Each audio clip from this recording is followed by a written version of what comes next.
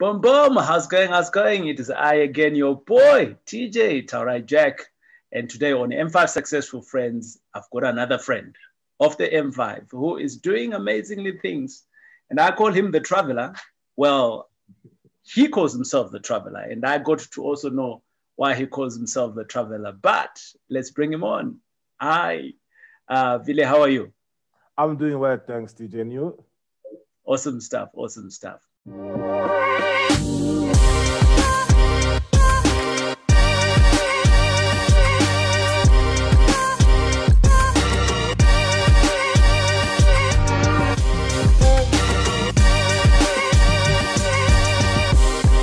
it Willie? Villy? Which one goes? I will prefer Willie. Awesome stuff. Right. So is it Willie for William or Willie for just Willie? Well, it's Willie for William, but not Willie for Willem. awesome stuff. Awesome stuff.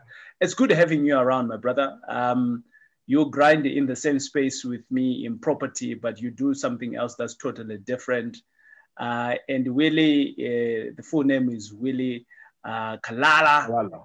And uh, what does Kalala mean? That, that's a bit of a fascinating name there. Well, remember, we are all uh, African. Whenever right. your parents decide to name you, they yeah. name you after whether it can be an event, whether it can be another person. But Kalala yeah. means a boy it's really Kalala Ngalula, a boy right. that is born after four girls. All right. All right. Yes, exactly. So, so I was born got... after four girls. Then I was given that name. Okay, interesting. Um, I remember when I used to travel in West Africa, um, and the guys there they are given names. So you know, you you, you see Kwame Kwame everywhere, and you're like mm. thinking Kwame is such a common name. But basically, what they do in West Africa, particularly in Ghana, um, for every day there is a name. So you could be wow. Arnold something, uh, you could be an Arnold Jack, but your second name now becomes Kwame, because Kwame identifies that you were born on a Thursday or on a Saturday, whatever the case is. So we never stop learning. Thanks for that education, man. I appreciate man. Who is Willie and uh, where, where does he come from and what does he do? Willie Kalala is a traveler, as you said, but yeah. also he is a uh, property investor. Originally, right. I'm from uh, DRC, Democratic Republic of Congo. Really? Yes, residing in SA for more than, uh, will I say, 18 to 20 years. So I will say I am half South African, half Congolese, because my family right now, my wife, she's South African from the province of KwaZulu Natal, and I have one beautiful boy. So Man, we, would... we, we, have got something in common. Um, and uh, my wife is also from KZN. Oh, okay. And I always tease people to say, you know, there was no need for me to import. Uh, Not at all. Yeah, local is lekker. Yes, exactly. As we always say, travel local and local is like a, so awesome, awesome. Exactly. That's uh, Willie, if I can put it that way. Right, right. And I've been to Congo, uh, Congo Brazzaville, and um, I did some work there in the late mid 90s. Um, and I, the, the company that I was working for, we took a 224 tonner of um, uh, what is this thing called? Mopani worms. Oh, okay. Yeah. Um, and uh, they were sourced out in in the south of Zimbabwe in Bulawayo, and we uh, they were brought into uh, no man's land in uh, just between Zambia and uh, Congo, and we had a military escort from no man's land all the way to Lubumbashi. I don't remember the hotel that we stayed in. Actually, and I'm from Lubumbashi. Really? I'm telling you. okay. And and whilst we were there, my idea of selling the consignment was that we were going to get there and leave the consignment and come back with the money. that's what was in my head. I didn't know that when we get there, we were actually going to be selling off the truck. Wow. And a trip that was supposed to be a four or five days trip ended up to be a three weeks trip because we actually had to wait for the money to come back. Um, but Congo, it's a it's a different country for me. At the time, it was ripe with uh, war, but um, uh, things have stabilized now, right? Yes, actually, uh, the new president is doing very well. Yeah, and we're hoping, we believe by the end of this year, yeah, there shall never be again war in DRC. It's a beautiful country just to come to what we have mentioned yeah. about the Mopani, Mopani Wems. Yeah. I mean, all these years, more than five to seven years, I've been traveling to Zimbabwe. I remember whenever we go to Vic Falls, mm-hmm. and there is uh, this buffet that was always organized. Amongst the food, there was Mopani, uh, Mopani Wems. And yeah. shockingly, whenever you eat uh, Mopani Wems, you are given a, a certificate. yeah, yeah. So I, I have more than seven certificates for each year because yeah. of my traveling. I mean, every year, at least twice or three times, we go to Zim, but uh, yeah. twice to Vic Falls. So right. Mopani worms uh, are just one of those um, delicious food, brings more protein in the body. Yes, yes, yes. You you exactly. you you have labeled yourself the traveler. Where have you been? Well, I've been to many countries around. Let me start yeah. with uh, Africa. I've been to right. Nigeria. Yeah. I've been to Kenya. I've been yeah. to Tanzania. Maybe let's, maybe let's do this. Start where I have been. Also, I will say tick, and where I haven't been, I'll just keep quiet. Oh, okay. Yeah. I've been to Congo, Brazzaville. Tick.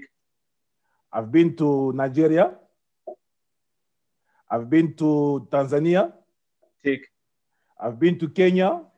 Tick. I've been to Zambia. Tick. I've been to Zimbabwe.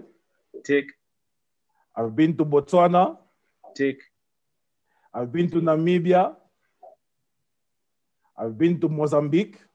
Tick. I've been to Swaziland. I've been to Lesotho.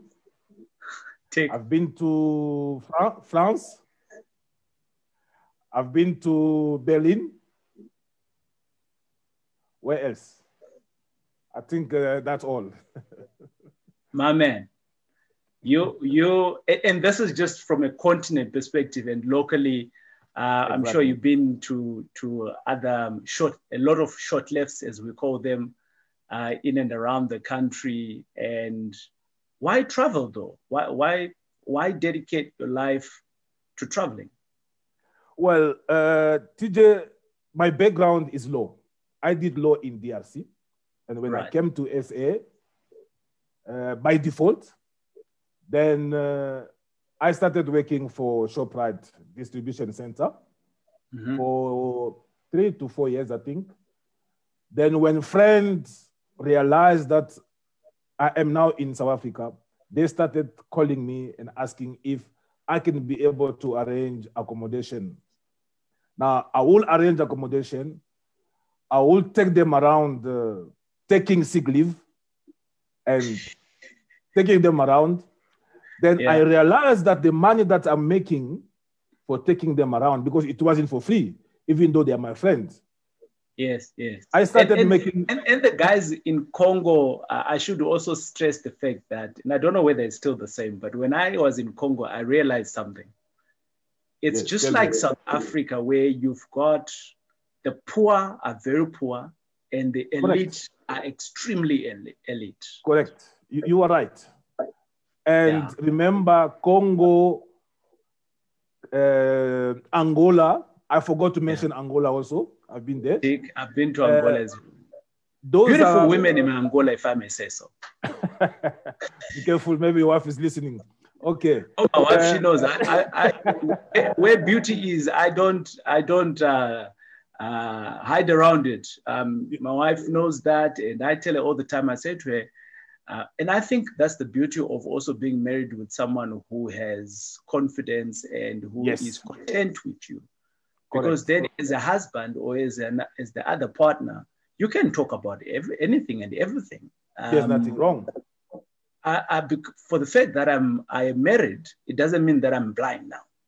Yes. yes I, I can I can still see the I call it talent, um, but it doesn't mean that I'm going to go for it. And I discuss that with my life when I see someone. I say, "Hey, babe, did you see that one? Damn, had I not seen this one before you, maybe I might be there." Um, but you know, those are those are internal affairs jokes. Yeah. There, there you go. Yeah. Then uh, I started making more money than going to work because we were just uh, uh, hired, not full time. Then yeah. I discover because I couldn't do, I couldn't practice my law. Okay. Coming from a French country into an English country, these are two different things. Right. So I decided to enroll for travel management while working. That's how I decided to do travel management. Then by the time I finished, the numbers of people contacting me yeah. to come and visit South Africa was very high. Then wow. I decided to say, well, look, I know very well French people. They are very fussy people. They don't want to speak any other, yes, they don't want to speak any other language. Yeah. So let me create this uh, niche market where I will say our company provide services to French speaking visiting South Africa, which is an English country. Wow. That's where everything started. Today, we are known as the French speaking. Whenever there is any email coming from either the National Department of Tourism or the any provincial tourism speaking French, they will straight forward that email to me. That's yeah. how we have market to network to be known that we specialize in French market. Then from there, we started attending different exhibitions in the travel uh, industry where mm-hmm. we meet now people from different countries. If I've right. been to some of these countries, it's only because those countries, they decided to invite us as Mount Zion Tours and Travel, which is our company, to go and sample, to go and experience their products. I mean, I'm right. talking about uh, the Zimbabwe Tourism Authority. Right. We've become so friend, whereby any event in the travel and tourism happening in Zimbabwe, whenever they have to look for tour operators, they have to look for destination management company, our company names is always on the list where you get right. invited, you go around, you go and sample the, the, the product.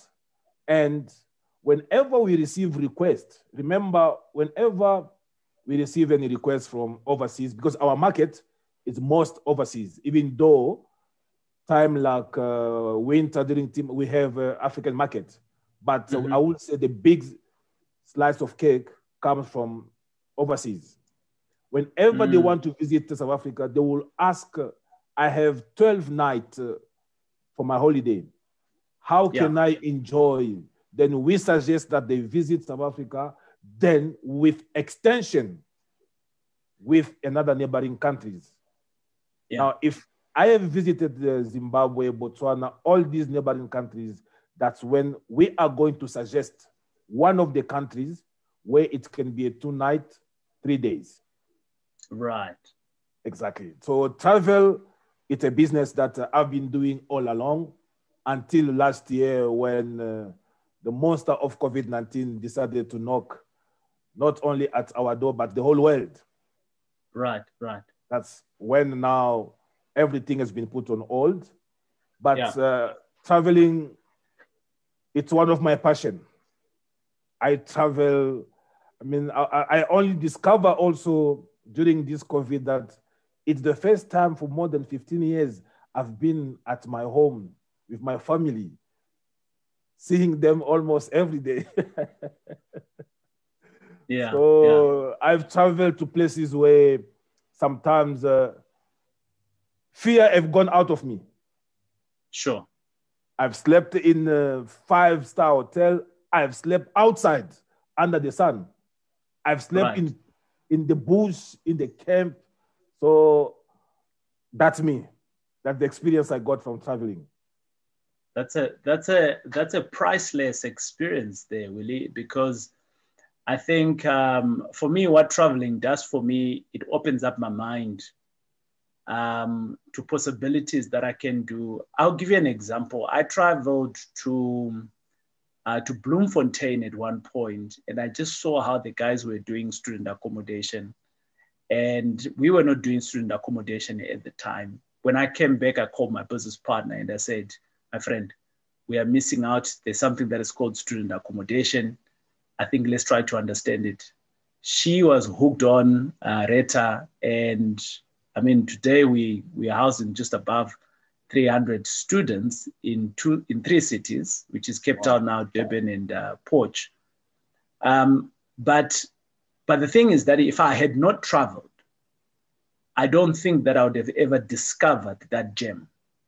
Exactly. You know, and I think for me, traveling as I have traveled all the time, um, there's always something that is going to stick with me that I want to bring home, uh, to localize it. And the question that I ask is, how do they do it? And why are we not doing it? Uh, and, and that's been my, my, my journey of traveling. And I do miss traveling as well. Um, so, yeah. But really, I want to ask of you of a question that when you were starting off, you were working for Shoprite at the time. So obviously language was a barrier at the time. Yes. Um, did you did you were you already English speaking at the time, or you had to learn from start? If I have to tell you this, the, the, the little story about my English, I think you are going to laugh. Yeah. I used to be in then in DRC. I used to be those students when the English teacher comes in, yeah. I go out because because that's this the is French though yes, then, then I told myself, what will I do with English? Right. And I remember this poor English teacher will always say, Some of you one day you will remember me, you will see me standing in front of you when you are going to need English. TJ, this was the case, as I mentioned by default when I enter South Africa, yeah. I saw my English teacher standing in front of me saying, Today is the day. Oh, no. Then automatically, what I did is I accepted the mistake I did. And right. I told myself, I'm not going to be into the French uh, environment. I speak yeah. already French. Yeah. What I'm going to do is I'm gonna be around people who speak English. Starting by because when I came to Joburg, my elder sister was already here, and she right. had a small child of four or five years. Then I decided watching TV news without even listening what was happening. Yeah. I decided reading newspaper. Right. Then my conversation with the small child was uniquely in English. Okay. The English that I'm talking today, I never went to school and sit down and say, okay, this is how you pronounce, this is how you do. Not at all. I just wow. told myself, this is how I'm going to teach myself. I remember when I registered for travel and tourism my first test was in English. I cried before going because I asked myself, really? no, this is true. I cried, tears came out. Now you are mm. going to write your test in English. Wow. And when I passed, I got my result. I couldn't believe that what encourages me and I told myself, if I can succeed, succeed mm. learning a foreign langu- language, then where does this word impossible comes from? Come on. Because then many of the friends were like, no, you're, you're studying in English. There is nothing. You are going to fail. You know, these negative words coming from left and right. But I yeah. remained focused. That's how I never went to school. But I started referring other people were coming to say, look, don't go my way because I was very courageous. And the other thing is I capitalized on the English behavior, people, people's behavior. Remember yeah. with French, when you don't speak correctly French, I will be mocking you. Yes. Openly. Yes. I, will, I, will, I, will, I will show you my face, like, what, what, what are you talking about? Yeah. I will make you feel bad. That's right. how French people are, which is totally different with the English people. Whether you, you, you speak your English like I was broken when I, I, I, was, it's not an issue as long as the message can be conveyed. Yeah. As long as you can pass the message. That's the one thing I liked about English. And I tried to do my best to make sure that I can be able to communicate properly. And I always tell, people with a French background, I'm not obliged to speak like an American or like an English person because English is not my language. Right. My, exactly. So I can speak with my accent either from African continent or any other uh, local languages. I'm proud of it. Yeah, yeah. Exactly. Yeah. So that's how I learn uh, English. That, that is good, man, because I think a lot of times we never see language as a barrier. Uh, we see a lot of things as barriers, like money, access to this and this. But then when we come to simple things like languages, we are of the assumption that you know anyone can converse. Um, but I almost want to to talk to the point that there you are, you are not good in the English language. You want to do business with people that are English speaking. So naturally, your second hurdle is now um, confidence of just speaking because you don't even know how to speak that language. So now, how do you do business with people when the language is not even there? You know, a lot of people think that maybe if they don't know the lingo, that's already for you. That was problem number three. You know, problem number one was just to understand the language, and then problem number two is being confident in that language now, for you to be able to do business, and uh, that you have already overcome in in these last 20 odd years that you've been in the country. And uh, I mean, you've got a business, and um, neighboring countries rely on you, on your expertise to bring in business to their countries. Um, countries, I know Lesotho, they're quite big on the French people and the English people coming to them. Yes. So is Swaziland, so is Zimbabwe, Swaziland, yes. so is Botswana. Um, Mozambique, I'm not so sure. Not much. Right? Because they are Portuguese speaking, so they potentially rely on their Portuguese um, uh, countries to give them more traffic there. If you don't mind that you have touched uh, Mozambique, mm. let me give you an indication of uh, when I was still working at uh, ShopRite. Yeah. A friend of mine came and said, I'm just coming from Mozambique, Maputo. Last week I was not at work. This is what I discovered. Mm. You see the takeaway papers, yeah. we put food. Yeah. It says, I've just made a kill in Maputo.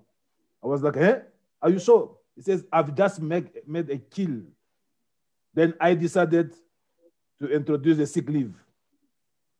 Then it was time for me to go around purchase all those um, stuff. Mm. The next morning, I was on Intercape into Maputo. Right. Without knowing any word except bon dia, bon dia, como está, está bem, obrigado. Yeah, yeah. Those are the only words I knew. But I decided, I said, look, if there is business opportunity in Maputo, language will never be a barrier to me. I got into Maputo, I was in. Now, mm. languages. You know what? From the hotel, I ask. Now, whatever I was told is not true because I'm on the ground now. When I ask around, they say, no, already the market has been saturated around here. There's no way that with that price, you are going to make anything unless you go another 45 to 60 kilometers out of Maputo. I looked already because I only took three days. Right. So I was supposed to be back. Then I decided, look, how can I get there? They told me where I can get uh, transport. I was into the transport. I just asked, how much is it? I make sure that I got the money that I'm supposed to pay. No change, the correct money. And yeah. I know the place where, as because it was a big market. I got into the, the, the, the public transport, then I was dropped at the place. When I arrived there, guess now who were my, my, my buyers? Chinese. Oh, I saw Chinese. I said, well, if they are Chinese, they can speak English. Sure. What a huge disappointment. When I approached them, Chinese. Chinese. They speak Portuguese. Oh no. then I say, look, I'm already here. The guys are interested into my product. Yeah. Guess what? It was an issue now of calculator. I put the amount, I show them. They say, hmm. They put the amount, they show me. I say, hmm. They put, I put my amount, I show them. Hmm. Until when we agree. and the deal was done. Not even speaking one language, but just the aid to say, I agree, I don't agree, I agree, I don't agree. And yeah. that was how I have to do my business. I was back at the, uh, at the hotel, and the following day, back in SA. Willie, I want to touch on, on something here.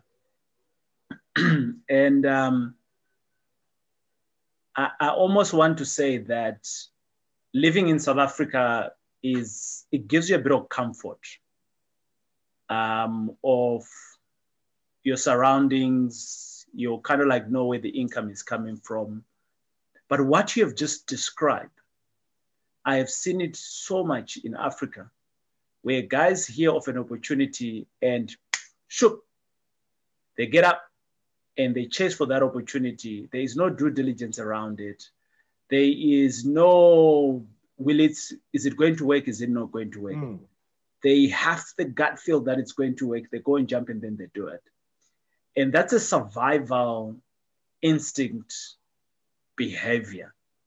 Uh, where you know that I'm going to make it work. I don't know how, but I'm going to make it work. And I had that spirit at one point, you know, in my early 20s. And I think going to work and getting that salary coming in every month the spirit died at the point mm. until I started resonating up and I was asking the question to say, how much more do I want to put on my table uh, for my family? And I realized that I was now deep in comfort, like very, very deep in comfort. And I looked back and I said, I've been to Congo, I've been to Namibia, I was selling stuff I was making, okay. I was taking risk. I was doing this. Um, I've sold forex before. I've done mm. many and many entrepreneurial things that I've done, and all of this has died within the last five to ten years.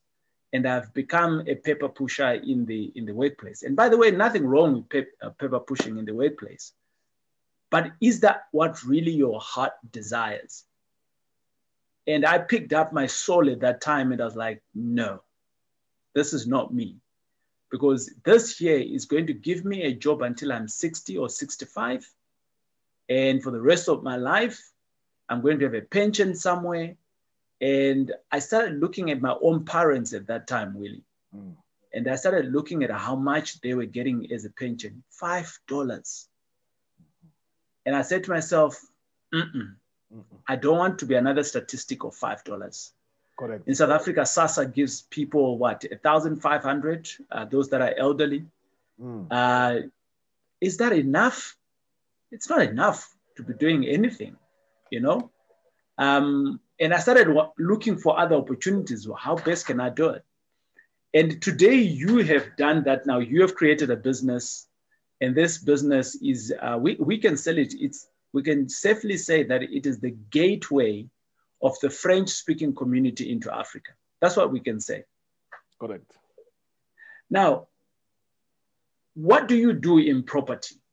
So this is the business that facilitates the French speaking people. But yes. I know you playing heavily in property. So is this related somehow or it's not at all? I would say there is some link right. between uh, the travel and the property. Because mm-hmm. what uh, happened is later on, when I decided to have a family, yeah. we bought uh, a flat mm-hmm. with three bedrooms. Those old flats where you found the lounge can be divided in two or three bedrooms, including yeah. the balcony. I think you, yeah. you know yeah. those type of yes, exactly. I love those and, ones. That's my yes. cornerstone of my business. exactly, yes. yeah. Exactly. So then when it's come to booking, remember through travel, I created a network of people who have got guest houses, people who right. have got properties, you know. They, they, they, they, they come and advertise to you so that when clients are looking for a place to, to stay, you are the first contact. And if I know that TJ have got a guest house, then definitely I will make sure that I book my guest at TJ's guest house. Right. Then from from from there, when we moved from our our apartment, I decided to use it now for rentals, put tenant. Okay. Yes, they started to put tenant. But be- before before me with property in SA, just to give you an idea, back home, we had a very huge stand where mm. I grew up, where back I was born.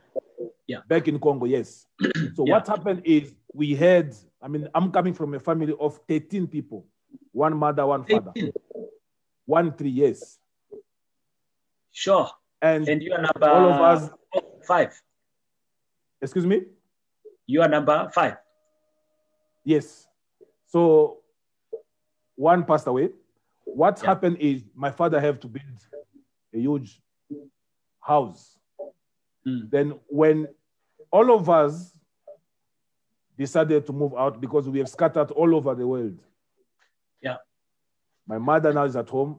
Then we decided when my, my father passed away, they decided to build a church. Actually, it was the pastor who approached them and said, Look, your plot is at the prime location where I would like my church to be. Right. Can I build a church in your premises?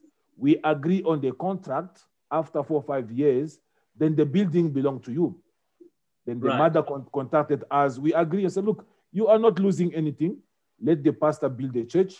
Then after that, the contract, everything, how much you spend, then the building will remain to us.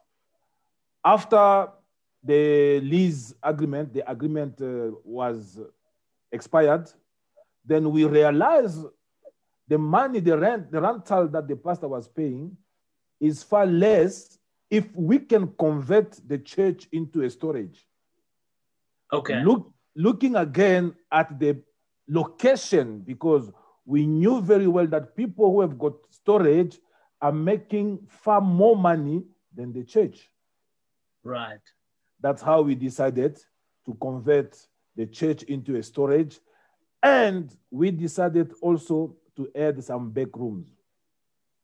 So mm. that's where actually the idea of property started. Then when coming now to, to, to SA, as I mentioned, from uh, one flat, then decided, okay, what's the next movement? Again, having uh, friends who are client coming from DRC, they might not all afford to, to, to, to stay in a hotel, whether it's in Sandton or around, but they just want uh, a place to sleep. Yeah. You know, I mean, I remember when I traveled to Namibia for the first time, I go to a place where I met almost the whole Africa at that house. Yeah. Because they just come there to sleep, but they are coming to buy stuff. Some they are in transit. So we, we, we decided to create something where at least it can accommodate those ones who like privacy, but at yeah, the same yeah. time, those ones who are just looking for a place to to to sleep, you know, mm-hmm. that, that that's where actually when, when I realized that uh, look, Africa, we are blessed. We are not in a continent a, a continent where we have natural disaster like earthquake. Mm. So if today I decide to buy a property, this is an investment that I can be able to do. And it's not like a car when you buy it now 250 just by coming out of the car dealers it has lost value no property actually there is always value every i will say from the time you build it well looked there is value mm-hmm. that you are adding to the property right so th- that's the background of me having at least uh, an idea of i mean when, when it comes to property Mm. That, that, that's quite interesting, uh, uh, Willy. And, um, and uh, I know that you do Airbnb. Um, and I have spoken to people before, and I've said to people, with Airbnb, you don't need to own the properties. Uh, you can start Airbnb without even any of your own properties, and you can make money out of it. Yes. You sound to me like you are at the pinnacle of that because you have lots of traffic that's coming through from people. You know when they are coming, you know how long they're going to be staying here.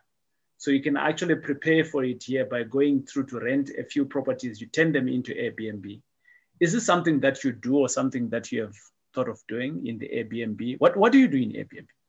Well, in Airbnb, yeah, so short-term rentals, I am a host and right. I am also a co-host. Okay. What's the difference between the two? The difference is when I say I am a host, it means mm-hmm. I have my own property, right. which I have listed it on Airbnb, and people pays me coming and sleeping. Right. That's me being a host. When okay. I say I am a co-host, it means TJ, you have your own property, which is finished.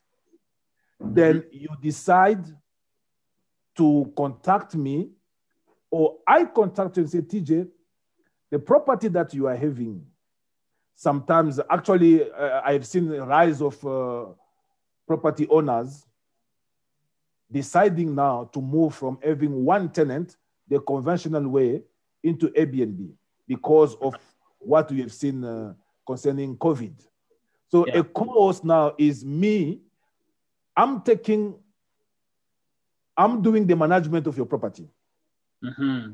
From advising on a professional photography, doing the listing, yeah. communicating with the guest, screening yeah. the guest, making sure that your listing always stand in front on the first page whenever someone is looking for a place to stay in your area. Then now I am a co-host which comes with a certain fees that right. now we uh, request from every confirmed booking. So on Airbnb short-term rentals, I am a host, and at the same time, I am a co-host. Mm. Which puts you in a very good position because uh, you do have traffic already from your communities. And uh, as I know uh, a lot of the European guys, once they like a certain place, they book this year, and the next year they book again, and Correct. and so it goes on for the next couple of years. So you can almost see the schedule for some people, not unless you know life changes, uh, like we have seen in COVID. Um, but you have religious holiday makers that come in. Now, Will, I want to speak to you about something else that's to- a little bit different from what you do in the business. You are married to a South African, you are French speaking.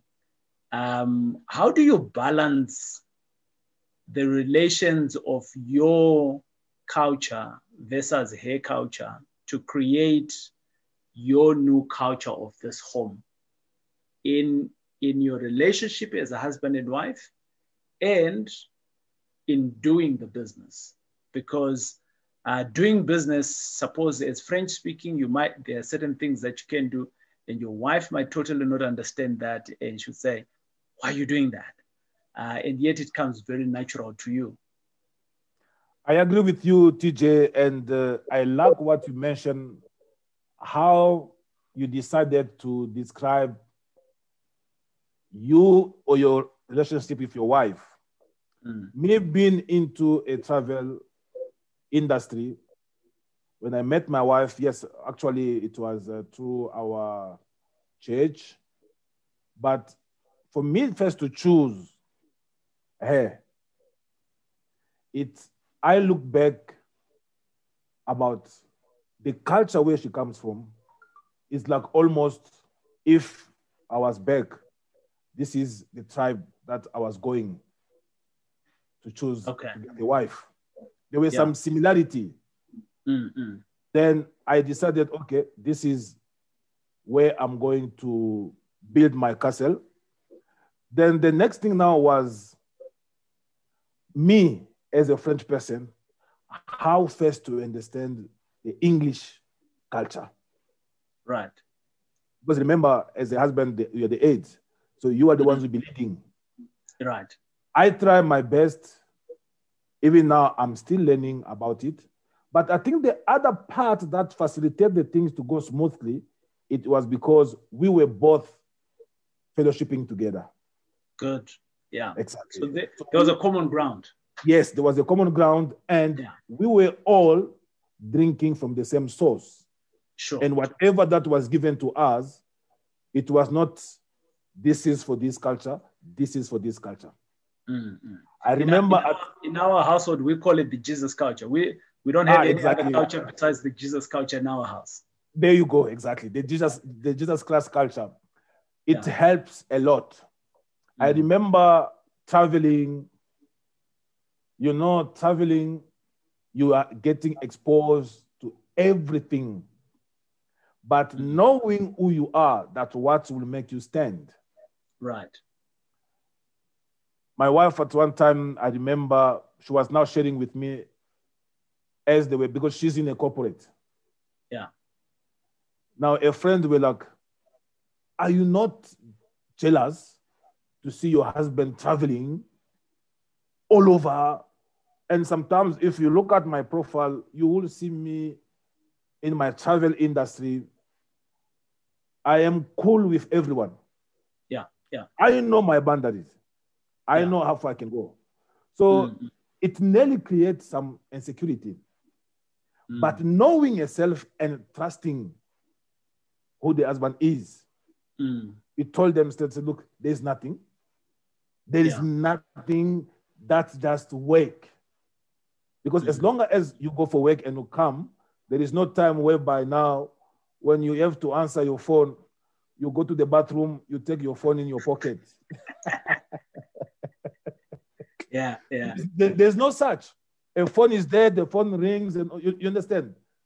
Yeah. So that, that's actually, I will say, I'm the one also who created that environment to say, look, this is work, and when yeah. I'm home, I'm home. Everything is simple, is clear, and you know what I'm saying. So, and also, whenever we have to travel for holidays as a family. Yeah. I make sure that I used the place where I went. Okay. Actually, I, I always tell them, me going with you as a family on holiday, to me, it's it's not holiday. It's also work. Sure. And this this now takes me to the point whereby even if I go for holiday, even if I go for work, I have this eye open for property business. Sure. I create that network, yes. Yeah, that's I get their contact, uh, I, I introduce myself. Yeah. And if there's any need, as you have mentioned also, when I have guests wanting to, some of the guests, they will know the area where they want to stay. But some yeah. of them, they totally rely on you because you are an expert. You are yeah. an advisor. You are mm. a professional in the travel. Then yeah. you can look and say, okay, how much can this guest afford? Is it a three star mm-hmm. hotel? Is it a four star? Is it a five star, a lodge, or a guest house, or they just want an apartment? Mm. Or an Airbnb for that. Or Airbnb. Actually, let me say something, uh, uh, TJ, about Airbnb. Mm. I know in South Africa, Airbnb is not known, well known as overseas. No wonder I'm getting these days almost messages whereby when you mention Airbnb in something, a person have to pay, for example, 700. They are shocked. Yeah. Then when I ask further question and say, okay, what were you expecting? They say, no, I was expecting 300. What does it mean? It means in South Africa, people are still considering Airbnb like a cheap place to stay, right. which is not totally true. If you go to Airbnb, you are going to find what they call Airbnb Plus. Right. These are well decorated houses who are even used for movie shooting. Okay. Yes, you are going to find villas. You are going to find lodges that yeah. are well decorated. Now, how yeah. do you expect such place to have a place, to have a rate which is very low? So mm. those are the things that we are trying to educate people in, especially in South Africa, to say Airbnb does not mean cheap. Right. I mean, my, my father told me, my, my, my son, don't ever buy or go for anything cheap because anything cheap, you are going to pay for it. yes, you are going to pour more money out. Willy, you've been in business now for for a while, and um, I am sure that when you started off your business, um, in the different facets now it has become, um, what are some of the benefits that you are seeing now or realizing, seeing to say, when I started off, I was thinking that this is going to happen, this is going to happen. And those were very futuristic things for you. And today you can actually touch and feel it, and you can like say, this is where I am today in terms of my benefits. What are those benefits? The benefit I can say is everything started with a dream. Right. If you have a dream, mm-hmm. what what will I say? What is a dream? Picture it.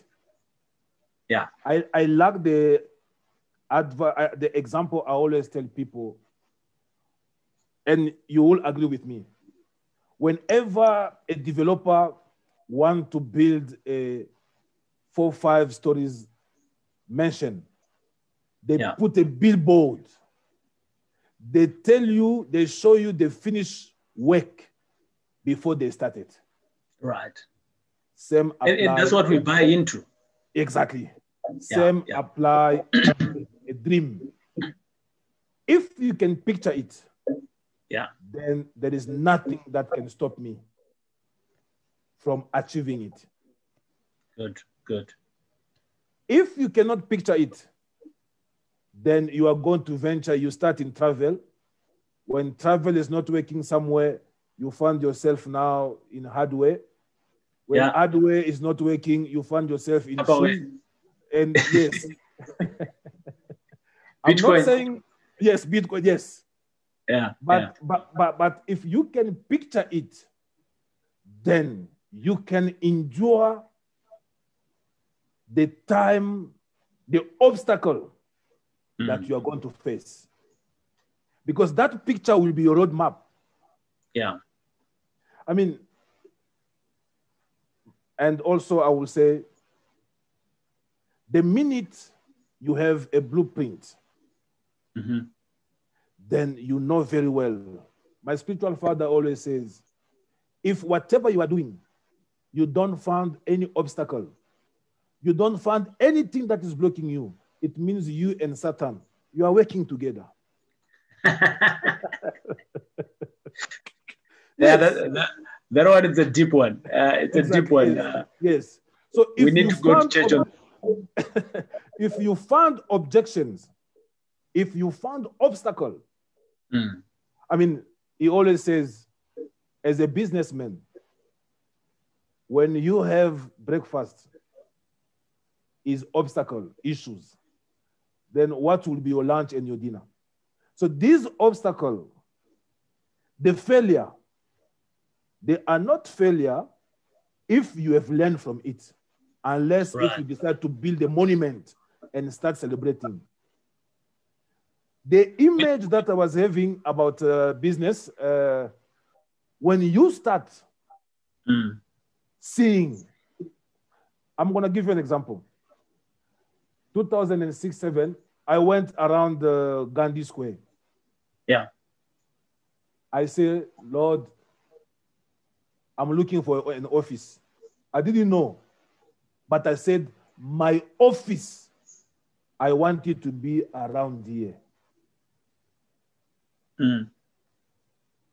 Two years later, I got a lease, two streets behind Gandhi Square. Wow. What does, what does it mean? I spoke. I saw myself going to that office. And guess what? As I'm dressing like this smart, mm. I dressed like this the first day I got the key, going to the office. There was no furniture. My wife laughed at me. I, I put my necktie, a suit. I Mm. took my laptop. I went to the office to get the key. Mm-mm. I sat on the floor and I said, This is what I prayed for two years ago. I had the opportunity. Some friend took me to Braamfontein. I went there. I saw something, but within me, I said, No, but I remember I wanted my office to be at Gandhi Square. So, what I'm trying to say is the small idea that you had, when you start seeing it coming true, coming to pass, you wanted to own a fleet. You saw your, I saw myself branding our fleet in French, telling the people we are offering excursions in French. When I saw the fleet, I said, wow, this is what I've been thinking. So these small things coming to pass realization that what makes you say, oh, okay, I am on the right track. Yes, it doesn't matter how long it takes. You went to the bank, I remember I was turned down. I was told, no, you are not qualifying. Mm-mm. But a few months later, I got not a friend, I call this person an angel. I don't know him. We met at the Department of uh, Transport. Then he told me, no, I have a connection where you can get uh, quantum. I say, I'm Yeah. sure. What I was looking for a year, 12 months to get uh, finance for the fleet, it took me three months. I got a fleet. Wow. That's how sometimes, uh, you know, but your, your desire to see yourself achieving, your desire to see yourself where you want to be. Actually, when people start celebrating, I always tell people whenever you see me receiving any award or being celebrated for whatever achievement, when you are congratulating me, I'm no longer there because I saw this coming before. Come on. Yes, I saw yeah. this coming before. Then, what next? Yeah, what's next? Exactly. That's amazing. That's amazing, Willy. Um, Willy, if you if you were to give advice to your younger self in the early twenties, with what you now know now today, yes, what would you give that advice? What would be that advice? My advice would be patience first. Be patient. Because I've seen so many young people today, they have put a time frame I need to yeah. achieve in two years. Yeah. And TJ, I started this business from an internet cafe. I mean, I'm talking about 2006. Before even getting my BlueBerry phone, which was my first office. Yeah. you know, you go into an internet cafe. By the time you're about to send a uh, quotation, your five, your 30 minutes has expired. Right. You, you, get my point? But I did not give up. I mm. saw myself having an office, then it, it came to pass. So for the young people, what I can advise is be patient. First of all, have a dream. Yeah. Remain focused. Yes, there will be time of shaking, moments to test your dream. Is your dream something that you can die for? I always tell my wife, I can die for my dream. I'm ready yeah. to die for my dream. Mm. The mission is strong. Yes. The mission is strong. It has to be strong. Exactly. Mm. So even her, she knows very well when it's come to anything related to the dream of this man, this man is ready to die for it. Have something that you can die for. Because the minute you have that, you are going to endure anything, you are going to persevere. I mean, I remember walking to my office. I, I, I, was feeling very happy. I did not see anything. I mean, I had friends already that time, some they were driving, you know. But to me, I knew my time was not bound to anything. Because you find today people, they just want to achieve. Anyhow, they just want to achieve. But if you are not ready to pay the price, then anyone can come and tell you, hey, there is another business here. I mean, I've got friends, I saw them. There is, there is another opportunity. And also, I remember I decided now to acquire more knowledge in the right. field. Yes, in the field where I am. If we are called today, I mean, uh, expert in the French market or even what I'm doing with Airbnb, it's because each and every day I make sure that whether I read, whether I go on uh, YouTube, whether I go to live uh, uh, session, yeah. So knowledge, knowledge, knowledge is power. That's 100%. the advice I can I, I can give to the young people. Yeah, that that that is amazing. My my my mentor, my my current mentor now, he says to me, TJ, anyone can walk on a glass road of one kilometer for as long as the price is right. Correct. Um, and if you're not walking on glass to get onto the other side, the price is not good. It's, not it's 1 million. Yes. So you're comfortable. If there's 1 billion, we can all walk on glass. Yes. And, and we'll get there. Definitely. Um, so I think that speaks to the dream, that speaks to the mission, that speaks to the price. And uh, I'm glad that you have, you have, you have uh, highlighted this. Willy, in closing, my question to you is um, what is success for you? What, what, what, what is success? What does it look like? Question. Yes. Very, very good question. To me, I describe uh, success mm. when anything that uh, I have achieved can benefit someone else. Good. I describe uh, success if I am able to assist the community, mm. any person in my surrounding, or any person who can benefit from whatever that I have achieved today, I will call it success. The minute I started impacting other people's life, yeah, I will call it success. You cannot uh, quantify it. You cannot uh, put it in a box. But as I said, when whatever ach- achievement that comes uh, from me, other people can be able to benefit or change their life.